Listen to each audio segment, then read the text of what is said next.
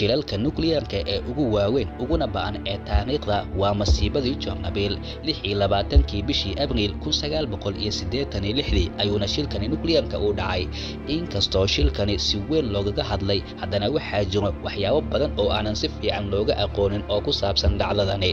Muuqaalkanina waxa aynu ku soo qaadan doonaa waxyaabaha qarsoon iyo dhacdooyinka cajiibka ah ee ku hareeraysan shilkani nukliyeerka iyo dhibaatooyinka muddada dheer ee shilkani ka dhashay shilkii jornabil waxa uu bilaabmay intii lagu guda jiray tijaabo lagu samaynayay reaktoorka afaraad. Ujeeddada tijaabadani reaktoorkuna waxay ahayd in la ogaado haddii ay suurtagal tahay in matoorada korontada ee reaktoorku in ay sii shaqayn karaan muddo gaaban haddii ay dhacdo koronto la'aan.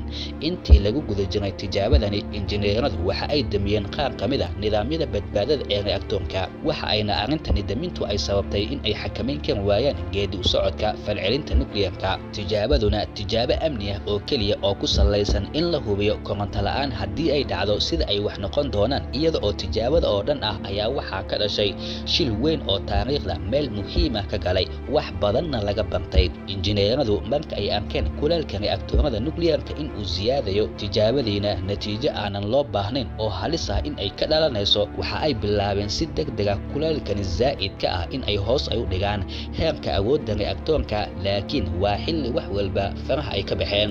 Mid ka mid ah waxyaabaha ugu waaweyn ee sababay shilkani waxa uu ahaa sidii ay wax u maamuleen. Waxaa la sheegay in ay sameeyeen qaladaad isdabajoog ah oo dhanka maamulidda iyo fahamka reaktoorka waxa uuna qaladaadkoodii uu keenay in sistamka si xad dhaaf leh inuu u kululaado kadibna uu qarxo xitaa biyihii ay u isticmaalayeen qaboojinta ayaa inta ay kululaadeen ayaa waxa ay isku bedeleen biyo uumi baxa.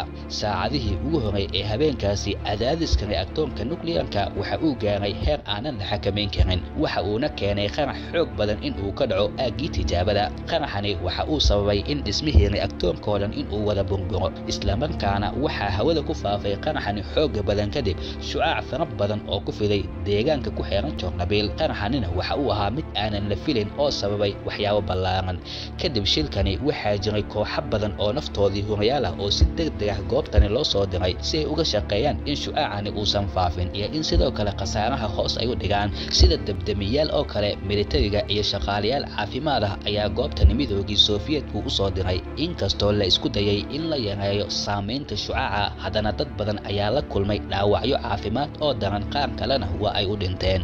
Qaramada midoobay iyo hay'adaha kale ee caalamiga waxa ay qiyaaseen shucaacani nukliyeerka in uu sababay dhimashada boqolaal ilaa kumanaan qof. Inkastoo ay adkeed tirada saxda ah in la ogaado haddana warbixinada qaarkood waxa ay sheegaan ilaa afar kun oo qof ah in shucaacani ay u dhinteen halka warbixino kale ay sheegayaan tira intaasi ka badan inay u dhinteen.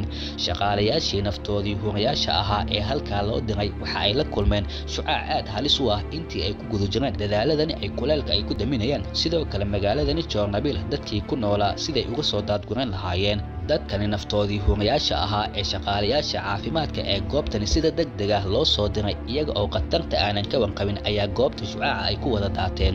Intoodii badan dadkanina sannado kadib mid kastaa xaalado caafimaad oo kala duwan ayuu la kulmay. Dadweynihii ku noolaa nawaaxigii jornabil gaar ahaan magaalada binabyad si deg ah ayaa looga soo daadgureeyey shilkani markii uu dhacay midoogii sofiyeetka dadaalo badan ayuu sameeyey si uu u yareeyo saamaynta shucaacani. Laakiin shucaacani mar haddii hawada uu ku faafay malaayiin qof ayaa la kulmay saamayn caafimaad oo aad u daran oo ay ka mid yihiin in dadkani kansar uu ku wada dhaco xanuunada wadnaha iyo cudurro kale oo halisa. Magaaladii binabyad ahaydna dadkii deganaa waxaa lagu wargeliyey shilkani markii uu dhacayba in ay qaataan keliya waxyaabaha muhiimkaa si deg deg ahna magaalada inay uga baxaan. Inkastoo la isku dayay in bulshada aanan lagu abuurin argagax haddana dadka badankoodii waxa ay ogaayeen halista nukliyeerka ay wajahayaan. Waxaa loo sheegay dadka bilowgii hore in ay magaalada saacado kooban ama maalmo kadib inay ku soo noqon doonaan laakiin arrintaasi ma aysan noqonin mid dhab noqota magaalo aysan dib dambe ugu soo noqon ayay noqotay habeenkaasi kadib. Qoysaskii la daadgumay waxaa la dejiyey magaalooyin iyo deegaano kale oo ka fogfog goobta uu shirkani uu ka dhacay. Carruurta iyo dadka waaweyn ee deegaankani jornabil laga soo daadgumay waxa ay la kulmeen xaalado caafimaad oo halisa oo ay ka mid yihiin cudurrada shucaaca ka dhasha dumarku waxaa lagu arkay dhalmaxumo iyo in koriinka carruurta inuu hoos uu dhaco. Shucaacani ka dhashay shilkani nukliyeerka waxa uu saamayn weyn sidoo kale uu ku yeeshay deegaanka.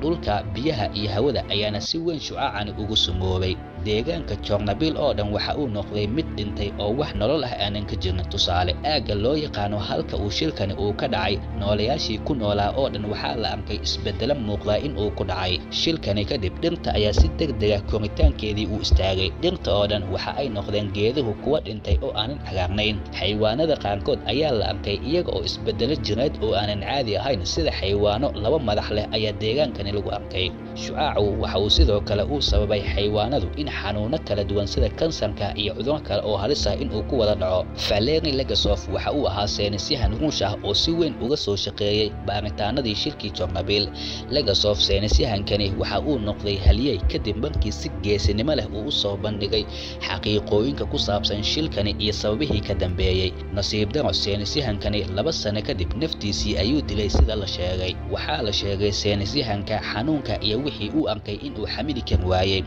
geerida seenisyahankani kadibna waxaa loo aqoonsaday in uu yahay qof haliyey ah maadaama door muhiima seenisyahanadii ka qayb qaadatay baaritaanada iyo maaraynta shilkii jornabil ee uu ahaa. Waxa uu si faahfaahsan seenisyahankani uu u sheegay sidii ay wax u dhaceen iyo sababihii ka dambeeyey shilkani nuclearka maadaama qabiil ku takhasusay kiimikada uu ahaa. Waxa uu caddeeyey in ay jireen qaladaad badan oo ka dhacay nidaamka maamulka iyo farsamada warshada jornabil waxa uuna ugu dambeyn seenisyahankani uu noqday mid gacantiisii naftiisii ku halaaga. Maria borotsenko waxay ahayd sabinqaado ka shaqayn jirtay magaalada benabyad halka uu shilkani uu ka dhacay.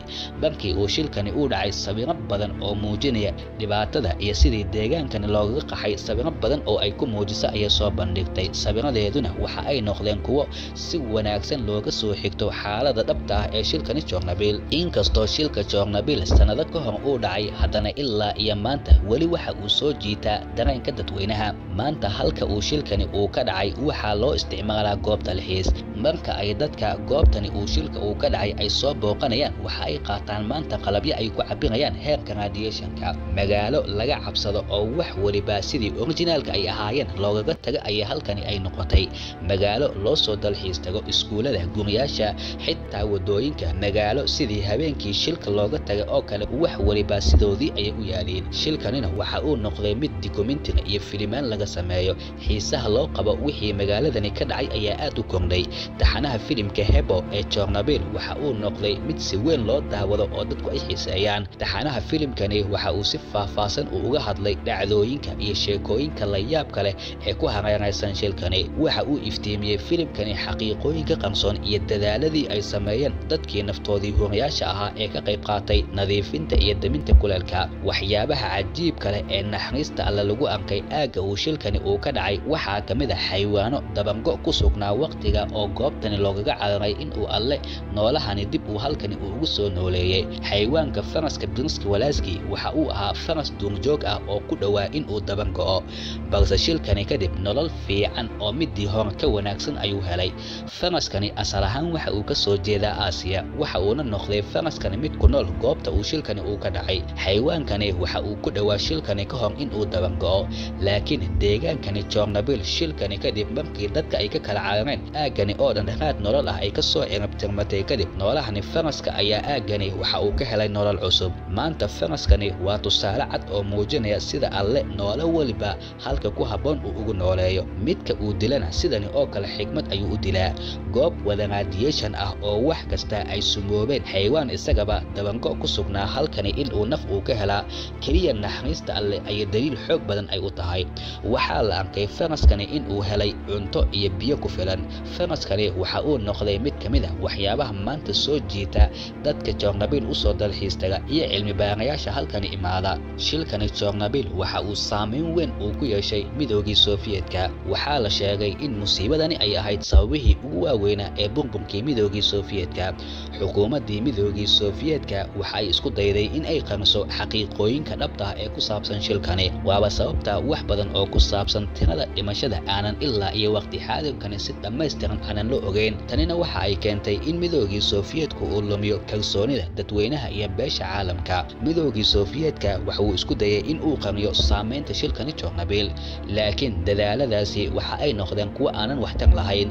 Warbaahinta caalamka ayaa si weyn u faafisay warkani ku saabsan jornabil meel aanan laga maqlin aad ayay u koobneed. Shilkani jornabil waxa uu horseeday in la sameeyo horumar ballaaran oo xagga tiknolojiyada nuclearka ah waxaa la sameeyey nidaamyo casri ah oo badbaado ah oo ka hortagi kara haddii shilal noocani oo kale ah midkii jornabil uu dhaco cilmi baarayaasha iyo injineeraduba waxa ay sameeyeen horumar badan oo dhanka iyo badbaadada. Waxa ay soo saareen nidaamyo cusub oo ka hortagi kara shilkani nuclearka mar kale in uusan dunida uusan ka dhicin. Waxaa la sameeyey nidaamyo otomaatiga oo lagu xakamaynayo reaktoorada waxyaabihii keenay in ay xakamayn kari waayaan oo dhan ayaa dib loo baaray kadibna nidaamyo ka hortag u noqon kara oo alternatiif ah ayaa lagu dadaalay in la sameeyo. Iyo sidoo kale in shucaaca la yareeyo haddii xaaladaha noocani oo kaleha ay dhacaan teknolojiyooyinkanina waxa ay noqdeen kuwo loo adeegsado xarumaha nuclearka jornabil goob cilmi iyo tusaale laga qaato ayaa bani aadamka u noqotay.